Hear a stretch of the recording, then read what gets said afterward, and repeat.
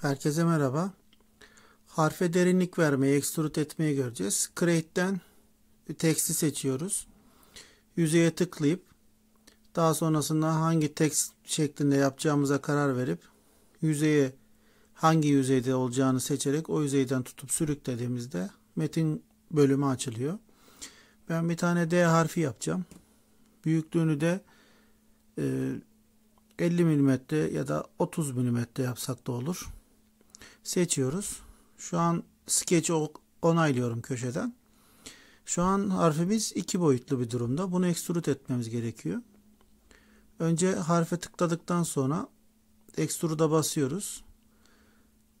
Sağ taraftakini daha sonra aktaracağım. Harfin üzerine tekrar tıkladığımızda bizden bir yükseklik girmemizi istiyor. 10 mm'yi seçip onaylıyoruz. Artık harfimiz 3 boyutlu oldu. Ee, buradan sonra tekrar harfin üzerine tıklayıp neresinde oyuk açmak ya da yükselti yapmak istediğimize karar veriyoruz. Burada sketch'i de seçebiliriz ama seçmesek de olur.